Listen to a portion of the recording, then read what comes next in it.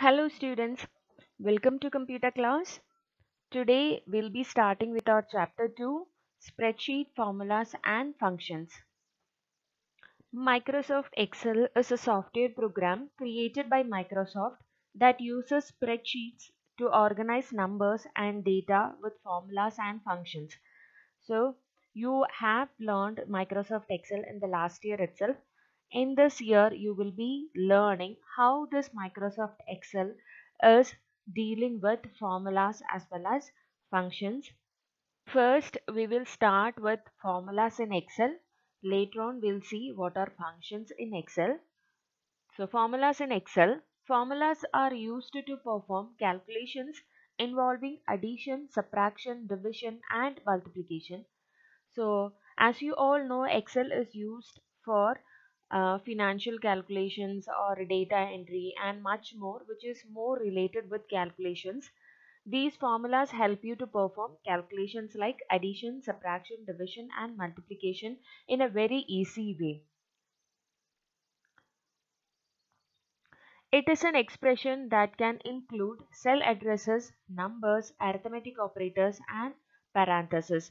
So formulas is an expression that can include the cell addresses you know what are cell addresses then you can even substitute the numbers or arithmetic operators. Arithmetic operators are plus minus uh, division uh, multiplication etc and parenthesis. Parenthesis means brackets. So whenever you wanted to solve something with the BODMAS rule you know what is BODMAS rule or BODMAS rule? That is first bracket should be solved then uh, multiplication then division. So that rule if you wanted to apply that even you can use parenthesis. Then uh, the important thing with excel is whenever you use formula it must begin with an equal to symbol followed by the cell references and the operators. Now we will see what are the elements of a formula. First is references References are a cell or a range of cells that you wanted to include in your calculation. So of course the calculation is dealing with numbers and numbers will be written inside the cell or range of cells. So you can include all these cell, one cell or a range of cells uh, with its address. So that is known as references. Next is symbols. Symbols like plus, minus, star uh, this is uh, power of percentage dollar hash etc can be included in the operation according to our need. Next is constants. Constants are the numbers or the text values that do not change. Next is functions. Functions are the predefined formulas in excel. Example is here is a formula. It is starting with equal to sign. Then A2 plus B2 into 5 minus sum of inside the bracket E3 is to E5. So we'll see one by one what are these. Equal to symbol as I told in the previous slide you have to always begin the formula with an equal to sign. Then A2, B2 are the cell addresses A2, B2, E3 and E5 are the cell addresses. Then you have plus, star and minus. These are mathematical operators. Then SUM, sum is a function and function will be having a name and followed by the parenthesis. Inside the bracket you have to mention the cell addresses or the uh, constant values. So here the constant value is 5. So this is a general way of mentioning a formula. Now we will see how to create basic formula and this is an excel sheet and you are familiar with this excel sheet since you learned last year itself and the basic formula involves one type of operator in it that is if you are using plus only plus will be involved in it or minus means only minus that is only one type of operator so in order to find out the sub the addition of all these data uh, the steps are first you have to click where you wanted to calculate. So here I wanted to calculate next to the total. So I have clicked here. Then the first step is you have to include an equal to sign and here you have noticed that this is a formula bar and what all things I'm typing here will be repeated here too. So fx means it is a formula bar. Then I wanted to find out the addition of 1000, 2000, 1500 and these data. So either I can directly click here so that the address of the cells are displayed. That means the address of this is D as well as 6. So D6 is appeared here and this method of clicking is called as pointing.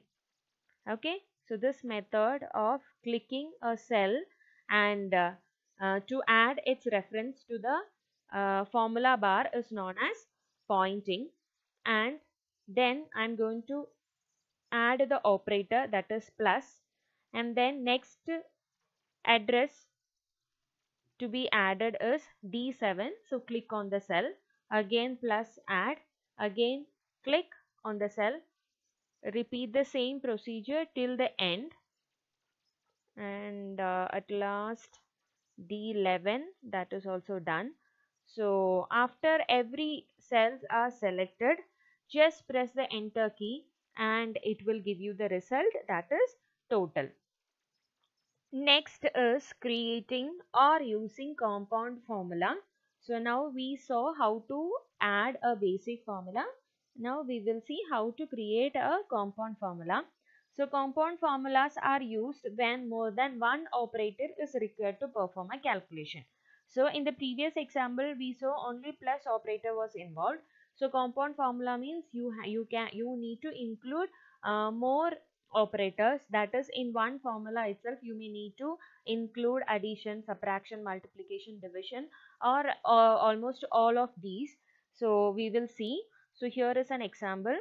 So it is simple interest calculation principal principal amount is given here rate is given here and time is given here and we are going to find out the simple interest so first of all the step is select the cell where you wanted to uh, insert the formula so click on the equal to that is the next step then select the cell so what is the formula for simple interest is PRT divided by 100 that is principal into rate into time divided by 100. So we have to select the principal amount that is 5000. So M7 is the cell address. Then into is used by star. Then again rate. So 10 is selected. Again into. Again time.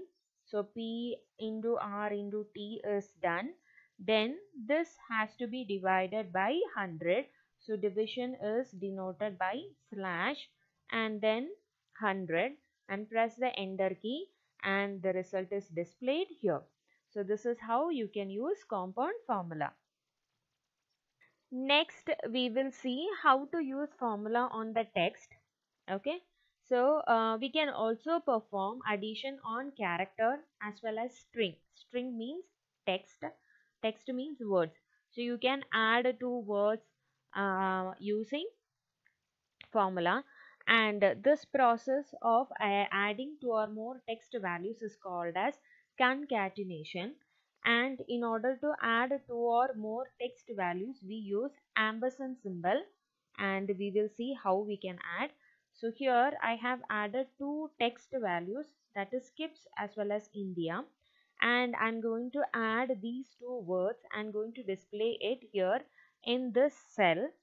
So you have to always start the formula with equal to sign. So equal to then I'm going to select skips so D5 is the address of the cell and you have to use the ampersand symbol then select India so D7 and then press enter key and here in the cell you have kids India displayed. So this process is known as concatenation. Let us see the term cell range. A range is a group of contiguous cells which form the shape of a rectangle. A range means it's a group of contiguous cells. Contiguous means continu continuous cells uh, which form the shape of a rectangle. That is known as a range. Then it can be a group of two cells or as big as an entire worksheet. So a range can be a group of two cells or three cells or 10 cells or it can be the entire worksheet also. Then you can specify a range by writing the starting cell address followed by the ending cell address both separated by a colon. So you have to specify the range by uh, starting with the starting cell then in between mention a colon then denote the ending cell address. So we'll see with an example and C1 is to C10 is a range. That means the cells are from C1 to C10 are selected. This means that and indicates a range starting from cell C1 and ending with C10. So now you know what is a cell range. So we are going to deal some more topics related with cell range and they are selecting a range, how to select a range and next is using a range in formula Next is how to name a range. Then using a named range. So these are the four things you are going to learn further with the term cell range. Now we will see how to select a range. So there are three methods that you can use to select a range. Uh, so we will see how to select uh, one by one. So first method is like you have to click on the first cell where your range is starting. So here I'm going to select from 1000 till uh, 13100. So select on the first cell. So it is selected. Then click on the left mouse button and here I cannot show you that I'm pressing that. So here I'm pressing left mouse button and then you can extend the dragging or else just click on the last then now you have noticed that this has been selected so it is a range. Then second method is again click on the first cell then hold on the shift key and then you can drag the mouse or you can use the arrow keys or just select the last cell where the selection is ending. So now this is selected again, a range is selected again. And the third method is click on the first cell, then click on the F8 key from your keyboard. Now you have noticed that your Excel is ready for extended selection mode. Then now you can use the arrow keys or else drag the mouse and select the last cell. Now this particular range is again selected. And notice that if I again click here it is in still in the extended selection mode. So if you wanted to stop that extended selection mode press again F8 now extended selection is gone. Now we will see how to use a range in a formula. So here I'm going to use the range in the total cell. So you have to start the formula with equal to sign and I'm going to find out the sum. So sum is a function that you will learn in the next session and sum of uh, here you can see that I'm going to find out the sum from D6 till D11. So I'm going to select it.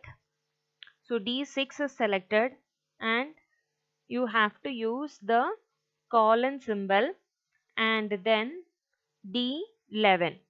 So here you can see that a blue color selection is happened with D6 till D11. That means it is a range selected by uh, the Excel sheet and uh, while you give the colon symbol in between and just press enter key and you will get the sum displayed there. Next we will see what is naming a range. So till now you have seen that whatever you wanted to refer in a range of cells uh, you may you make use of cell reference like uh, D6 is to D11 like that. But Excel provides with another option of referring a range of cells and that is given by suitable names. And we will see how to name a range. So you have to select the uh, cells first and you know how to select either by pressing the shift key or uh, uh, left click on the mouse. Then select it. Select the range. Now the range is selected. Then go to the formulas tab in the excel sheet. Click on the formulas tab. And here you can see that define name tab. Click over there and select define name option and here it is asking for a name. So here I'm going to give name as units range. So units underscore range this is the name I had given for that particular range and give ok. So this is the steps that you have to follow for naming a range. Next we will see how to use this named range in the formula so here I'm going to use it. So give equal to then use the function that is sum of and our name which we had given to the range was units range. So select that. Uh, you have seen that it has been listed. So you can double click and select from here or you can directly type it. Then press enter key and here the result is displayed and the purpose of naming a range is very good because wherever you require this particular sum then you can use that range.